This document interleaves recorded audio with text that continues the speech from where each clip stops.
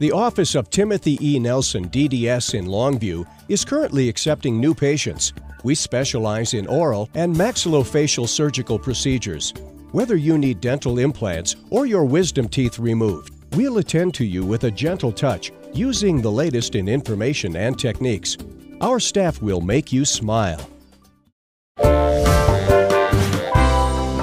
Timothy E. Nelson, DDS. Call us today.